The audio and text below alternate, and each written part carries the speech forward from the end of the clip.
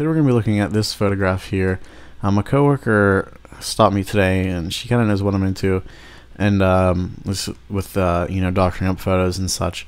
Um, and she asked me, "Hey, do you think you can take this this harsh this harsh fall off here, this harsh glare off of him?" And I said, "You know, I can give it a shot, see what I can do. I know that you know sun's a hard thing to deal with, so we're gonna go ahead and give it a shot today." Um, show what I did first here. The very first thing that I did, I I added a layer, okay, over here. Today we're using GIMP, um, GIMP to you know to to work on this photograph. Give you some other options here. Okay, so we're gonna name this one fill color, so that so it's transparency there. If it decides it wants to work. Okay, so here it is up here um, set it above the image there. I've learned through my projects to never, you know, doctor directly on a photo. Obviously, uh, you just doctor on the on the transparent layer above. That way, you can just delete it and start over. All right. So the next thing we're gonna do now is go ahead and choose a, a fuzzy brush here. I like this one in particular for this job. Um, so we're gonna set the opacity pretty low here, probably around 20 and the scale the scales okay we drop down to six or so six something or one okay so the first thing we're going to do is use our well we, have our uh, paintbrush tool here um, drop this down again and we're going to actually pick up the color of the color of his skin here. Try to get a little bit of a darker one. Okay. So I guess we'll go back to the fill layer here. Um, we're just going to go ahead and kind of draw in some, you know, some of this darker temperature, this color over over top of the the really light white of the skin here. Um, we're being careful. We're not being real careful. Uh, we're going to go back and doctor it up a little bit more later. I'm just using one continuous stroke. That way the uh, you know the opacity doesn't overlap and we get that multi-layer effect. So as I'm uh, as I'm working through this quickly here, you can kind of see uh, it, it darkening those spots that I'm that I'm painting over lessening the harshness, which is you know the main idea here. Okay, uh, I'm actually going to clone tool these two things out, so I'm going to leave those where they're at.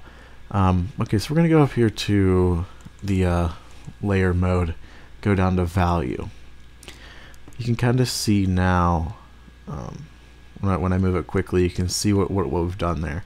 And it really has, um, it really has, you know, dulled down the, the sharpness there of the of the white. We're gonna actually go ahead and do one more layer of this of this color.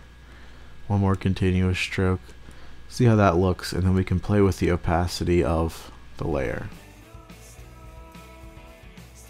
So we want to try to tie these colors in um, with not only like one one motion like an up and down, but I try to go back through, make little X's kind of gives it a cleaner feel, uh, a more a more smooth effect in the end there.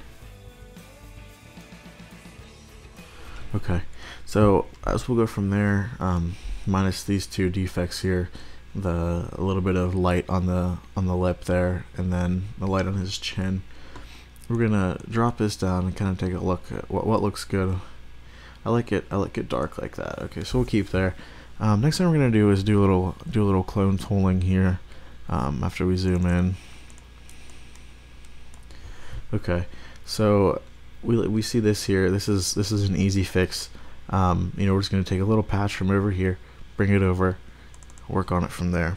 Okay, so we're gonna go ahead. Um, I'm gonna drop the opacity down to about 30, 30 some um, percent, and bring this up to that's a little bit big. Let's go down to about you know, two. That's great. Okay, so we're gonna grab grab some uh, some color from here, and just go ahead and just go ahead and blotch over as we go. All right, so that looks that looks decent. Um, They're like that. That doesn't look bad at all. We can bring bring some of this color down. There we go. That looks good. Okay, so then we're gonna come down here. Um, try to try to fill this in with some dark tones before we make a sweep. Then we're gonna take the edging from up here, sweep it down like this. And the same from the bottom up. Try to tie in, I'll incorporate all these colors. Okay, so we're gonna go ahead and back out of this now. We'll just uh, check and uncheck this this full transparent layer here just to see exactly what we've done. So we've we've came from this uh, pretty harsh lighting now um, down to down to that. So it looks it looks pretty good. Um, I'm sure she'll be happy with that.